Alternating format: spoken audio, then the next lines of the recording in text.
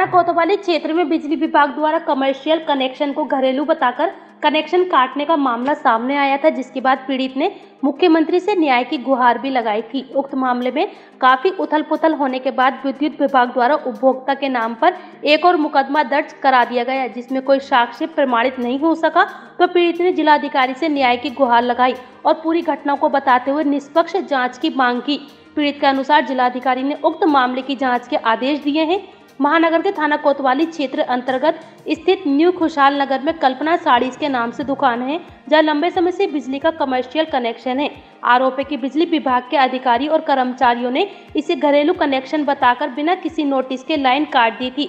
पीड़ित पक्ष के अनुसार कनेक्शन दुकान की मालिक कल्पना के नाम पर है, लेकिन बिजली विभाग के लोगों ने उपभोक्ता के पति नवनीत कुमार के नाम से बिजली चोरी का मुकदमा दर्ज कराया था।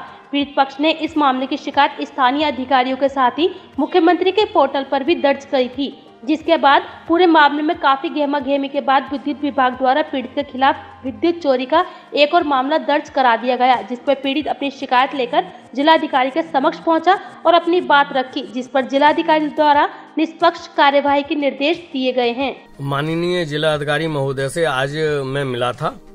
और मैंने उनको मेरे साथ जो उनतीस बारह की घटना हुई थी, मैंने उनको विस्तार से बात बताई।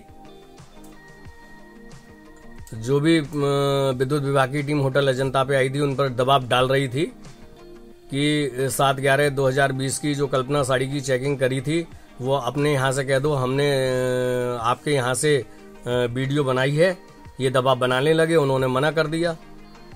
नाजायज दबाव को उन्होंने उनके नकार दिया, जब भी मैं वहाँ बैठा था पीछे मैंने आके उनकी वीडियो बनाने लगा, वो सब भागने लगे। जब वो घबराकर भागने लगे, मैंने उनका पीछा किया, पूर्ण वीडियो बनाई है।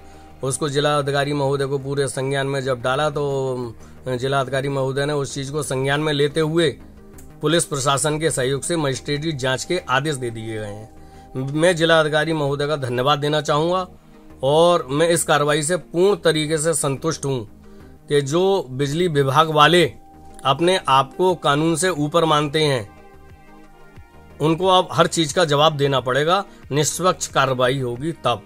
आज मुझे मालूम हुआ कि एक समाचार पत्र और एक चैनल जो कि निष्पक्ष पत्रकारिता करता है, इन लोगों ने रंजिशन, मेरी खबर, सही छापने पर उसकी ऑफ़िस की लाइन काट दी है, जो कि इनकी नीच और गिरी हुई हरकतों को बयान करती है।